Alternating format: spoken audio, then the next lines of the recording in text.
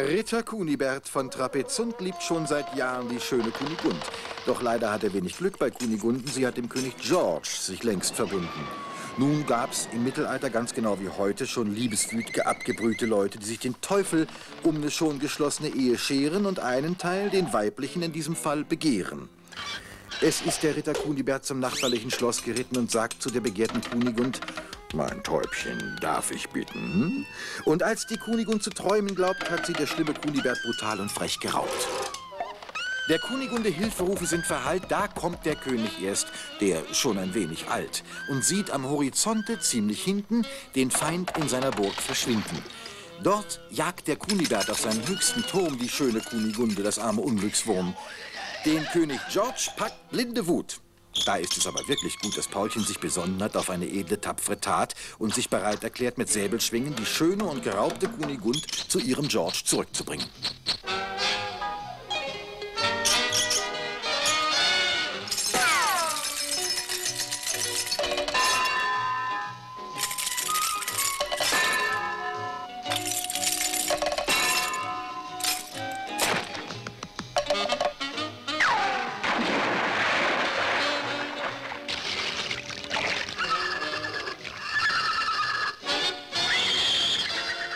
Es jagt der Ritter Kunibert auf seinen höchsten Turm noch immer Kunigunde, das arme Unglückswurm. Inzwischen überlisten der König und der Paul das widerspenstige Schlachtross den schadenfrohen Gaul. Man hätte sich denken können, dass beim fälligen Countdown die Meere ihrerseits versucht, dem Reiter abzuhauen. Und zusätzlich mit wohlgezieltem Schlag rollt sie das Paulchen auf, als wäre er Kautabak. Und wiehert los das Misors. Inzwischen jagt man auf dem höchsten Turm noch immer Kunigunde, das arme Unglückswurm.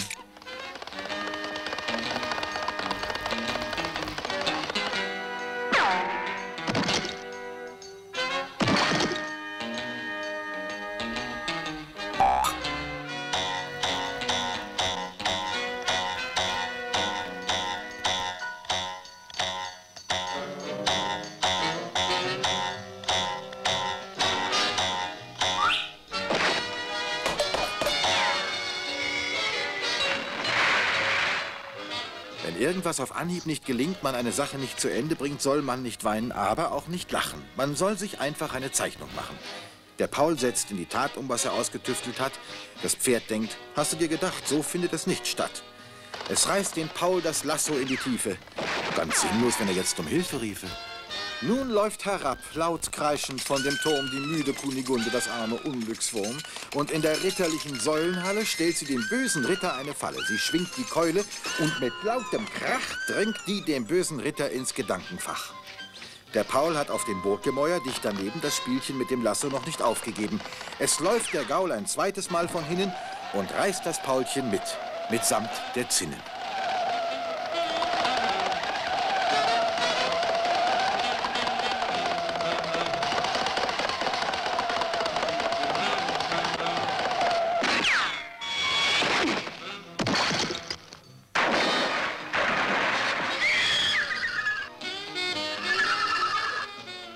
Es ist der Schlag von Kunigunde wohl zu sanft gewesen. Auf jeden Fall ist Kunibert davon genesen und jagt das arme Unglückswurm diesmal auf den Kanonenturm, worauf sie nach den Murmeln greift, weil sie auf Abwehr sich versteift. Es rumst die dicke Bertha los mit furchtbarem Getöse und macht aus Ritter Kunibert ein Stückchen Schweizer Käse.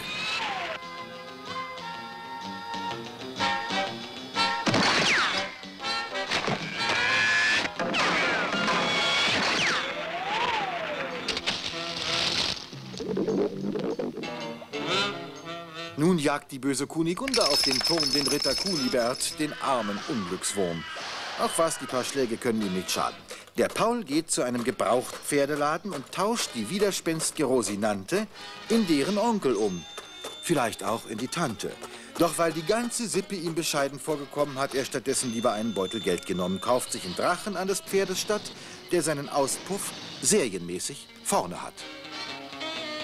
Er eilt, die arme Kunigunde zu befreien. Glaubt der, der Kunibert lässt ihn so einfach rein? Ein kurzer Schlag mit schwerer Eisenhand, das Paulchen hat die Kunigunde nicht erkannt. Er greift statt ihrer nach dem Ritter. Na, die Enttäuschung wird auf alle Fälle bitter. Es trifft ihn auch der Schicksalsschlag ganz prompt, als er mit der vermeintlichen Entführten zu dem Gatten kommt. Wer wen befreien will, der soll genau hinsehen. Soll nicht das Unternehmen furchtbar ins Auge gehen.